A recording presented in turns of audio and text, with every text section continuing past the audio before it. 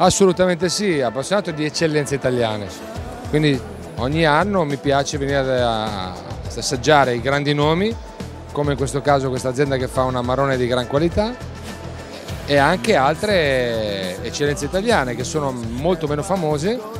ma soprattutto meno pubblicizzate ma che fanno dei grandi prodotti.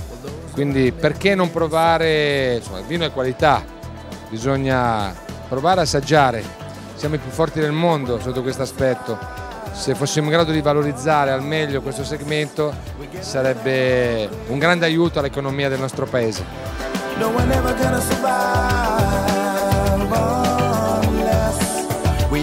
devo dirti che già la volontà di fare un prodotto enologico di qualità premia tutti, premia coloro che magari fanno un prodotto a basso costo, sia coloro che fanno prodotti